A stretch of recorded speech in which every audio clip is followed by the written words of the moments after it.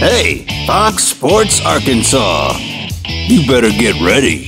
You just added the best live sports producer of all time.